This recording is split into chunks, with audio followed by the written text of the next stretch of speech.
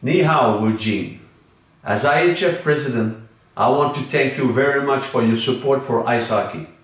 And I hope to see you soon in Beijing with your new jersey.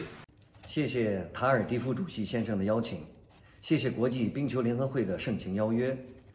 正值北京冬奥会激战正酣，中国的冰雪运动火热升温。